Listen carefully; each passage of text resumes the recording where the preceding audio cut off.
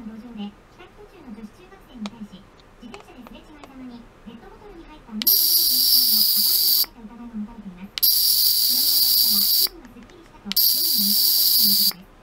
岩村容疑者は調べています。